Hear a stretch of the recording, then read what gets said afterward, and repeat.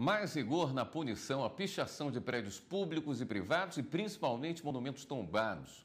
Uma lei distrital que entrou em vigor neste mês prevê multas pesadas e até cadeia para quem for flagrado praticando esse tipo de vandalismo na capital do país. O Museu Nacional no centro de Brasília já foi pichado várias vezes, a exemplo de outros prédios públicos. O GDF pinta os edifícios e monumentos, mas as pichações se repetem. Após as últimas ações, o governador do Distrito Federal, Rodrigo Hollenberg, sancionou no dia 5 deste mês uma lei que prevê multa de 5 mil reais para quem pichar prédios públicos ou privados. Se a ação for em monumento ou bem tombado, pode chegar a 10 mil reais. Em caso de reincidência, a multa será em dobro.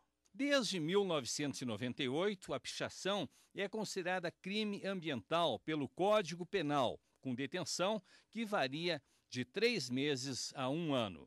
Tratamento diferente passou a ser dado ao grafite, que não está sujeito a sanções desde que seja autorizado, explica este advogado. O grande diferencial entre a pichação e a grafitagem, para a lei, veja, que para culturalmente são duas coisas extremamente diferentes.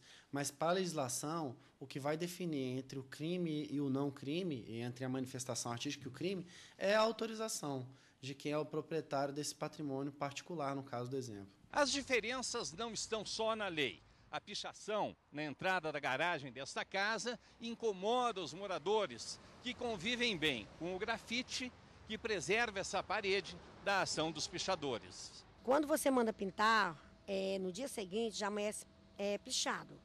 Aí eu não adoto né, a pichação, eu não gosto. Porque é, estraga a pintura que você gasta para fazer. Aí então eu prefiro fazer o grafite, porque aí ele permanece lá do jeito que você manda fazer.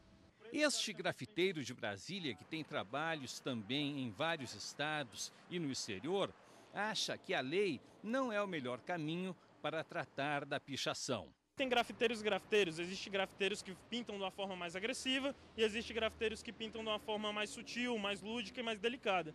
Então é por isso que eu falo muito, depende muito de quem pega o spray, qual é o propósito da pessoa.